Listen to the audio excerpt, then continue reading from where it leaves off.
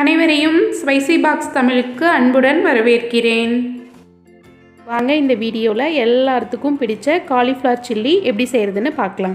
First ஒரு பாத்திரத்தில் தண்ணி வச்சு கொதிக்க விடலாம். அதில் கல் உப்பும் கொஞ்சம் மஞ்சத்தூளும் சேர்த்துக்கலாம்.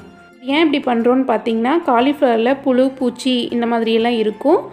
அது வந்து காலிஃப்ளவர்லேருந்து வெளியே எடுக்கிறதுக்காக இந்த தண்ணியில் போட்டு எடுக்க போகிறோம் காலிஃப்ளவரை நீங்கள் இந்த சைஸில் வெட்டிக்கிட்டிங்கன்னா போதும். ரொம்ப பெருசாகவும் வேண்டாம். ரொம்ப பொடி பொடியாகவும் வேண்டாம். ஓரளவுக்கு இந்த மாதிரி மீடியம் சைஸில் கட் பண்ணிக்கோங்க. இப்போது கொதிக்கிற தண்ணியில் இந்த காலிஃப்ளவரை எல்லாம் போட்டுக்கலாம்.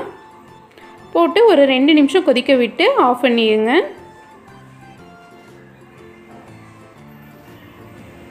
ரெண்டு நிமிஷம் அப்படியே அந்த தண்ணியில் கொஞ்சம் நேரம் காலிஃப்ளவரை விட்டுட்டு இப்போ வந்து ஒரு வடிகட்டியை வச்சு நல்லா வடிச்சுக்கலாம்.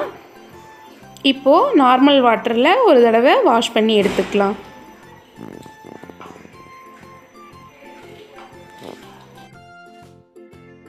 இப்போது காலிஃப்ளவர் சில்லிக்கு தேவையான மசாலாலாம் என்ன வேணும்னு பார்த்துக்கலாம். அரிசி மாவு ரெண்டு ஸ்பூன் எடுத்திருக்கேன். அதே மாதிரி கார்ன்ஃப்ளவர் மாவும் ரெண்டு ஸ்பூன் எடுத்திருக்கிறேன். கடலை மாவு ஒரு ஸ்பூன். தேவையான அளவு உப்பு கரம் மசாலா ஒரு ஸ்பூன் எடுத்திருக்கேன். அப்புறம் வரமிளகாய் தூள் காரத்துக்கு தகுந்த மாதிரி எடுத்திருக்கிறேன். மைதா மாவு வேணுன்னா நீங்கள் ஒரு ஸ்பூன் சேர்த்துக்கலாம். அப்படி சேர்த்துக்கும் போது நல்ல டேஸ்ட்டாக இருக்குது இப்போது இது எல்லாத்தையும் நல்லா மிக்ஸ் பண்ணி விட்டுட்டு தண்ணி கலந்து பேஸ்ட் மாதிரி பண்ணிக்கலாம்.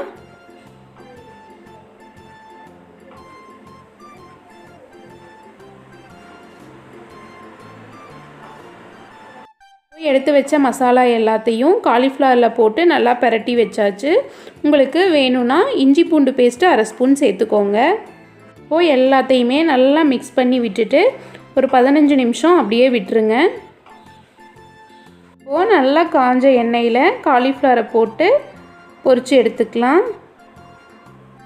காலிஃப்ளவரை நல்லா உதிரி உதிரியாக போட்டுக்கோங்க. அப்போ தான் நல்லா வேகும்.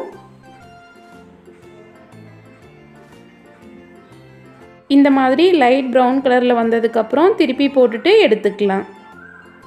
பாருங்கள் இப்போ நான் ஒரு பேட்ச் எடுத்துட்டேன். நல்லா கிறிஸ்பியான காலிஃப்ளவர் சில்லி ரெடி ஆயிடுச்சு பெரிய வெங்காயத்தை கட் பண்ணி அந்த காலிஃப்ளவரோட வச்சு சாப்பிட்டிங்கன்னா சூப்பராக இருக்கும். இந்த மொறு மொறுன்னு டேஸ்டியான காலிஃப்ளவர் சில்லியை நீங்களும் ட்ரை பண்ணி பாருங்கள் உங்கள் ஃப்ரெண்ட்ஸ் கூடயும் ஷேர் பண்ணுங்கள் மறக்காமல் நம்ம சேனலை சப்ஸ்கிரைப் பண்ணிடுங்க நன்றி.